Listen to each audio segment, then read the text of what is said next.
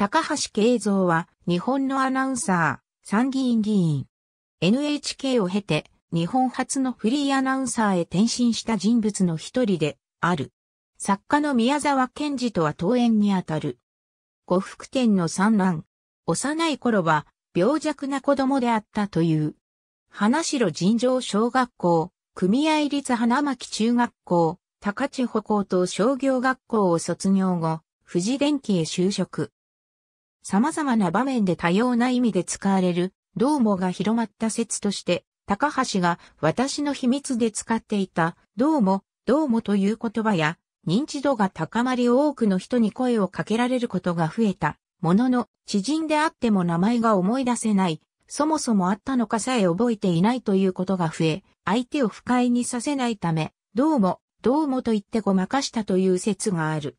1962年、NHK 専属契約解除後、日本で初のフリーアナウンサーとなる。日本初のテレビ情報誌として、アメリカの TV ガイド誌に版を取って創刊された週刊 TV ガイドの創刊号の表紙を飾っている。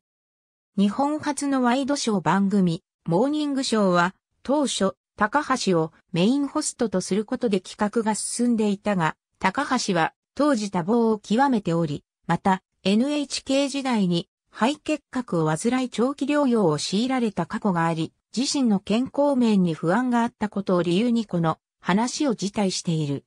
そして代わって抜擢されたのは、同じ NHK 出身の後輩、木島のりおだった。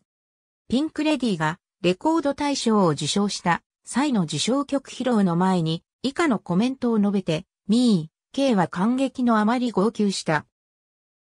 みつよちゃん、けいこちゃん、おめでとう。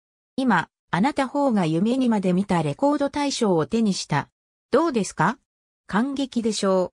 この二人はご存知のようにデビュー以来、圧倒的な人気を誇り続けてまいりました。しかし、その陰には、眠る時間も削って、そして病を押して歌い続けたということを私たちは知っております。しかも、いつでも笑みをたたえ、そして全力投球で歌いました。この二人、そのつつましさ、優しさというものは、まさに現代の天使だろうと思うのでございます。今、全国のお茶の間からちびっ子たちが先頭に立って、わーっと拍手してるの聞こえませんか？どうですか？聞こえるようでしょう？どうぞ。今まで通りあなた方はちびっ子たちもそして私たちの幸せを思って今まで通り歌って天使としての任務を尽くしてください。おめでとうございました。ありがとうございます。